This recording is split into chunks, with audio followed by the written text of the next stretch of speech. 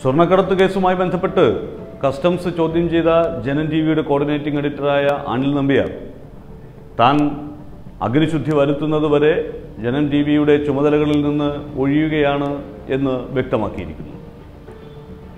Anil നമ്പ്യാറിനെ customs ചോദ്യം ചെയ്തതും അതിനു പിന്നാലെ സ്വപ്ന എൻ ഐ എ അധികൃതർക്ക് നൽകിയ മൊഴിയിലുള്ള വിവരങ്ങളും പുറത്തു വന്നതോടെ രാഷ്ട്രീയമായി പ്രതിരോധത്തിലായിരുന്ന സി പി എം ഇത് ഒരു വലിയ ആയുധമാക്കി രാഷ്ട്രീയ പ്രചരണത്തിന് തുടക്കം കുറിച്ചിരിക്കുകയാണ്. സ്വപ്ന സുരേഷ് പറഞ്ഞത് അനിൽ നമ്പ്യാർ ഈ സ്വർണക്കടത്ത് പിടിക്കുന്ന അവസരത്തിൽ തന്നെ വിളിച്ചിരുന്നു. അത് നയതന്ത്ര ബാഗേജ് വഴിയല്ല വന്നത് എന്ന് പറയണമെന്ന് പറഞ്ഞു. അത്തരത്തിലൊരു സ്റ്റേറ്റ്മെന്റ് നൽകാൻ കോൺസുലാർ ജനറലിനോട് ആവശ്യപ്പെടണം എന്ന് സ്വപ്നയോട് പറഞ്ഞു. അതേ തുടർന്ന് കോൺസുലാർ ജനറലിനോട് താൻ ആവശ്യപ്പെടുകയും അനിൽ നമ്പ്യാരോട് അത്തരത്തിലൊരു സ്റ്റേറ്റ്മെന്റ് എഴുതി തരാൻ കോൺസുലാർ ജനറൽ ആവശ്യപ്പെട്ടു എന്നുമാണ് സ്വപ്ന പറയുന്നത്. അനിൽ നമ്പ്യാർ അതിന് സമ്മതിച്ചിരുന്നു. പക്ഷേ പിന്നീട് ഈ കേസുമായി ബന്ധപ്പെട്ട് തന്റെ പേര് കൂടി വന്നപ്പോൾ ഒളിവിൽ പോകേണ്ടി വന്നതിനാൽ പിന്നീട് അനിൽ നമ്പ്യാരെ ബന്ധപ്പെടാൻ സാധിച്ചില്ല എന്നാണ് സ്വപ്ന പറയുന്നത്. അങ്ങനെയാണ് എങ്കിൽ അത് നയതന്ത്ര ബാഗേജ് അല്ല എന്ന് പറയുന്നതിന് കോൺസുലാർ ജനറലെ കൊണ്ട് പറയിപ്പിക്കാനായി സ്വപ്നയോട് ഈ വിഷയം സംസാരിക്കാൻ അനിൽ നമ്പ്യാരെ ആര് ചുമതലപ്പെടുത്തി അല്ലെങ്കിൽ എന്തിന് അനിൽ നമ്പ്യാർ അതിന് തയ്യാറായി എന്നുള്ള ചോദ്യം പ്രസക്തമാണ്. ജനം ടി വിയുടെ കോർഡിനേറ്റിംഗ് എഡിറ്ററായിട്ടുള്ള അനിൽ നമ്പ്യാർക്ക് അത് നയതന്ത്ര ബാഗേജ് ആണെങ്കിലും നയതന്ത്ര ബാഗേജ് അല്ലെങ്കിലും അതിനകത്ത് വേറെ പ്രത്യേകിച്ച് വിഷയമൊന്നുമില്ലല്ലോ.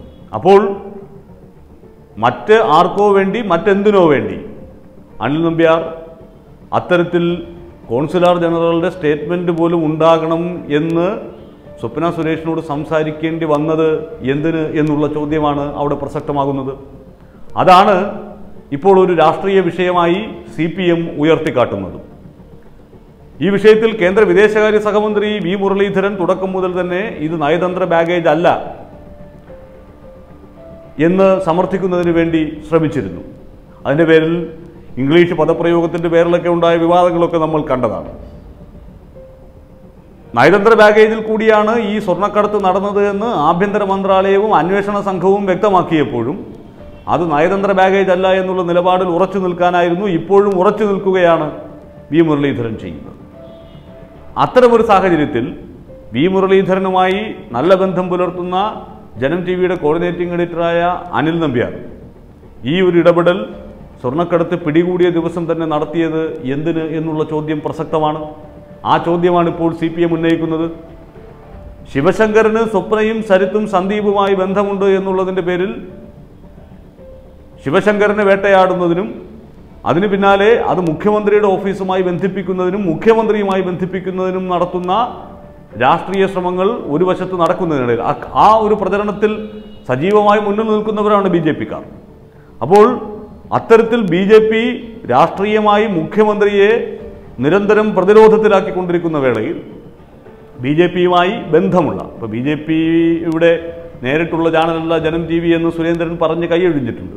എങ്കിലും ബി ജെ പിക്കാരായ ഒരുപാട് പേർ ഓ രാജഗോപാൽ അടക്കമുള്ള ആളുകൾ ജനം ടി വിയുടെ ഓഹരി ഉടമകളാണ് എന്നുള്ള ഒരു യാഥാർത്ഥ്യമുണ്ട്. പക്ഷേ ആർക്കും എവിടെ വേണമെങ്കിലും ഓഹരി എടുക്കാം ഒരു വ്യവസായത്തിൽ പങ്കാളിയാവാം. അതുകൊണ്ട് അത് അങ്ങനെ ഓ രാജഗോപാൽ അടക്കമുള്ള കുറേ ബി ജെ പിക്കാർ അതിനകത്ത് ഓഹരി ഉടമകളായതുകൊണ്ട് അത് ബി ജെ പി ചാനലാണ് എന്ന് നമുക്ക് പറയാനുമാകില്ല. അത് അതിനപ്പുറത്ത് നിന്ന് മറ്റു ചില വ്യവസായ താല്പര്യങ്ങളുള്ള ആളുകൾ ചേർന്ന് രൂപീകരിച്ച് ആർ എസ് എസിനോട് ബന്ധം പുലർത്തി ബി ജെ പിയോട് ബന്ധം പുലർത്തി നിൽക്കുന്ന ഒരു ചാനൽ എന്നുള്ളത് മാത്രം. പക്ഷേ അവിടെയുള്ള അനിൽ നമ്പ്യാർ അടക്കമുള്ള അല്ലെങ്കിൽ അതിന്റെ ചീഫ് എഡിറ്റർ അടക്കമുള്ള മാധ്യമ പ്രവർത്തകർ ബി ജെ പിയുമായി പ്രത്യക്ഷമായോ പരോക്ഷമായോ നല്ല ബന്ധം പുലർത്തുന്നവരാണ്. അല്ലെങ്കിൽ പഴയ B J P B J പിയുടെ വിവിധ പോഷക സംഘടനകളുടെ ഭാരവാഹികളായിരുന്ന ആളുകളാണ്. അങ്ങനെ ഒരു യാഥാർത്ഥ്യമൊക്കെ ഉണ്ട്. അതവിടെ നിൽക്കട്ടെ. എന്തായാലും വി മുരളീധരൻ അടക്കമുള്ള ആളുകളോട് നല്ല ബന്ധം പുലർത്തുന്ന ജനം ടി വിയിലെ കോർഡിനേറ്റിംഗ് എഡിറ്റർ. അത്തരത്തിൽ ഒരു നിലപാട് ഈ സ്വർണക്കടത്ത് പിടികൂടിയ ദിവസം തന്നെ സ്വീകരിക്കുകയും അതേ സ്വരം കേന്ദ്ര വിദേശകാര്യ സഹമന്ത്രിയുടെ ഭാഗത്തു നിന്ന് ഉണ്ടാവുകയും ചെയ്യുമ്പോൾ ഇതിന് രണ്ടിനും ഒരേ സ്വരമാണല്ലോ എന്നുള്ള സംശയം മറ്റു പലതിലേക്കും വിരൽ ചൂണ്ടുന്നു എന്നാണ് സി ഇപ്പോൾ ചൂണ്ടിക്കാട്ടുന്നത്. അതായത് ഈ സ്വർണക്കടത്ത് കേസിന്റെ അന്വേഷണം മുറുകി വരുമ്പോൾ പലരുടെയും നെഞ്ചിടിപ്പ് കൂടും എന്ന് മുഖ്യമന്ത്രി പറഞ്ഞയിടത്തേക്ക് കാര്യങ്ങൾ എത്തുന്നു എന്ന് സി പി എം ഇപ്പോൾ കരുതുകയാണ്. ഈ കേസിൽ അറസ്റ്റ് ചെയ്തുകൊണ്ടിരിക്കുന്നവരൊക്കെ മലബാറിലുള്ള ലീഗുമായി ബന്ധം പുലർത്തുന്ന ആളുകളാണ്.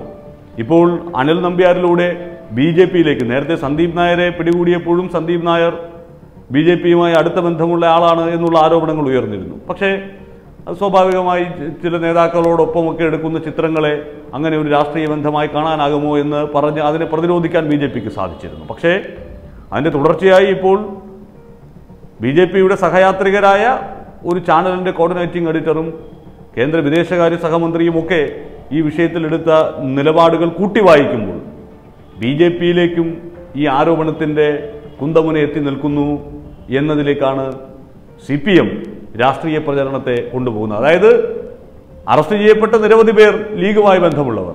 ഇപ്പോൾ ബി ജെ പി അതിനകത്ത് ഈ പ്രതികളെ സഹായിക്കുന്നതിന് വേണ്ടിയിട്ടുള്ള ഇടപെടലുകൾക്ക് കൂട്ടുനിന്നിട്ടുണ്ടോ എന്ന് സംശയം ബലപ്പെടുന്ന തരത്തിൽ അനിൽ നമ്പിയാരുടെ ചോദ്യം ചെയ്യലുമായി ബന്ധപ്പെട്ട വസ്തുതകൾ പുറത്തു വരുന്നു.